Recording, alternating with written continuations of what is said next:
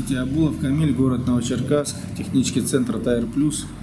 Э, Центр открыт э, с августа 2014 года.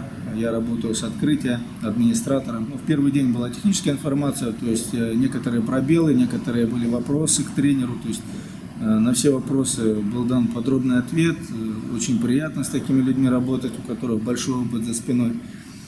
Также тренер предложил обращение после тренинга, то есть если будут какие-то вопросы, э, то есть можно с ним поддерживать связь.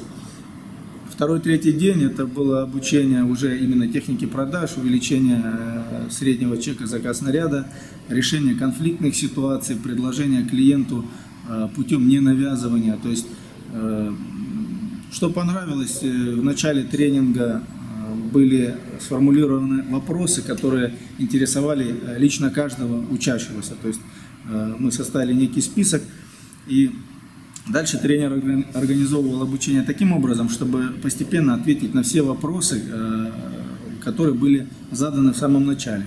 К концу мы подвели итог, и помимо этого мы следовали программе обучения, то есть были найдены некоторые вещи, которые люди изначально не спросили, но эти вопросы были в их головах. Много практики было на тренинге также.